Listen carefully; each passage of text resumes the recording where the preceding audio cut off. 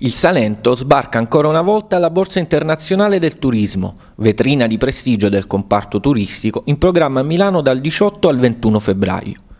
L'obiettivo è quello di consolidare le performance degli ultimi anni, durante i quali il segno più ha accompagnato tutte le statistiche nonostante la crisi economica generale. Migliorare l'offerta turistica significa anche individuare target ben precisi di clientela. Anche per quest'anno è previsto un educational tour per i giornalisti, che saranno invitati in primavera a visitare il Salento. Tutti i particolari della missione in Lombardia sono stati illustrati in conferenza stampa dalla vicepresidente della provincia Simona Manca, dall'assessore al turismo e marketing territoriale Francesco Pacella, dal presidente della Camera di Commercio di Lecce Alfredo Prete e dalla commissaria dell'azienda di promozione turistica Stefania Mandurino che noi abbiamo intervistato. La BIT è prima di tutto una vetrina di comunicazione e di promozione territoriale, infatti coinvolge in maniera importante gli enti preposti a ciò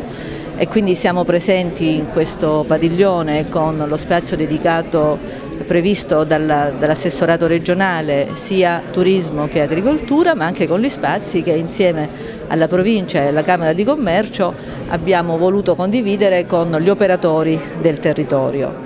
un momento importante in cui si, si, si conferma questa immagine eh, forte del nostro Salento all'interno di questo prodotto Puglia che ha avuto un 2009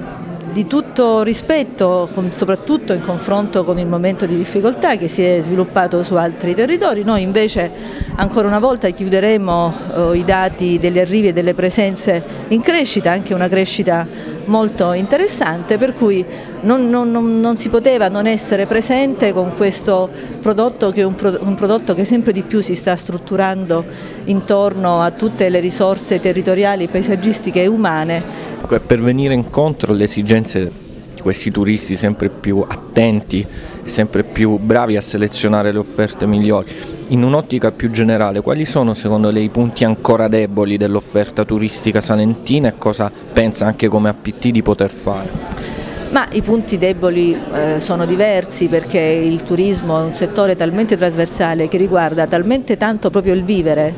che eh, i punti su cui lavorare sono tanti. Noi parliamo sempre rigorosamente e regolarmente di trasporti, è un nodo sul quale ancora lavorare, anche i trasporti più che di accessibilità forse adesso dovremmo maggiormente puntare sulla mobilità perché l'accessibilità grazie ai voli sempre maggiori anche attraverso le implementazioni che Trenitalia sta comunque facendo eh, l'accessibilità è molto migliorata. Sulla mobilità c'è ancora tanto da fare ma al di là di questo aspetto noi dobbiamo ricordarci tutte le volte che quando si parla di turisti si parla di target molto precisi, di persone che se raggiungono il nostro territorio e perché non vogliono genericamente il Salento ma vogliono fare per esempio un cicloturismo, vogliono andare per cantine, vogliono poter visitare i nostri musei, cioè vengono con delle eh, diciamo degli obiettivi molto ben precisi e tutto questo significa costruire intorno ai prodotti turistici corrispondenti servizi, infrastrutture, professioni, attività e proprio la costruzione dei prodotti turistici ragionando in quest'ottica